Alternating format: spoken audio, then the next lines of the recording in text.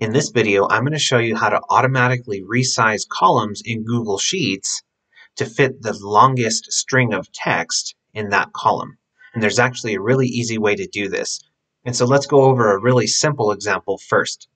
Here, as you can see in column A, we have a list of names and phone numbers. And this text is so long that it's extending beyond column A and going into column B and even column C a little bit. And so if we wanted, we could resize the column manually by hovering the cursor in between columns A and B until the set of double arrows appear, and then we would click and drag your mouse to the right to expand column A. But that's the manual way of doing it. And so I'm going to undo what I just did and show you the automatic way of doing this. And that's to double click your mouse when the double set of arrows appear. So again, I'm hovering my cursor in between columns A and B until the double set of arrows appear. And then I'm going to double click my mouse.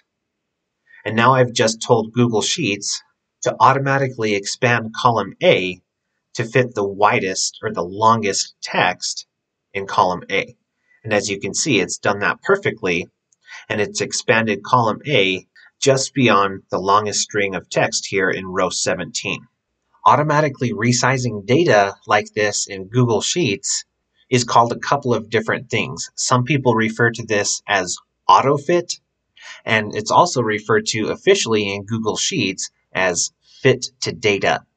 Now, if you want, there's actually another way to use autofit or fit to data, which is by right clicking on the column that you want to resize, click resize column, and then select fit to data, and then click OK. So now let's go over an example of doing this with multiple columns. As you can see, some of the headers in row 1 cannot be seen because the text is too long to fit inside the cell. And this same thing is happening in columns B and E. We can't see the full address in column B, and we definitely can't see the notes in column E. So what I'm going to do is select multiple columns at once and do the same trick that I showed you in the last example. So what I'm going to do is select columns A through F, and how I did that is I clicked in the middle of column A, held my click, and dragged my cursor over to column F and released my click to select multiple columns at once. Now, I can hover my cursor between any of these selected columns and once the double set of arrows appears, I double click my cursor and it automatically expands each column to fit the widest or the longest piece of text in each of the columns. And as you can see, it shrunk column A because it didn't need to be as wide as it was.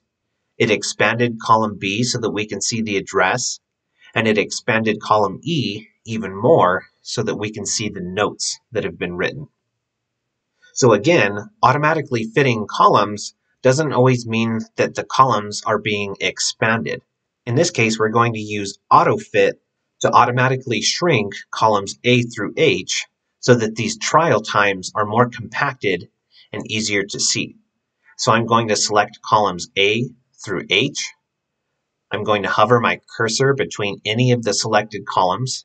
And when the double set of arrows appears, I'm going to double click my mouse and now Google Sheets has shrunk columns A through H so that the columns fit the width of the text and the numbers.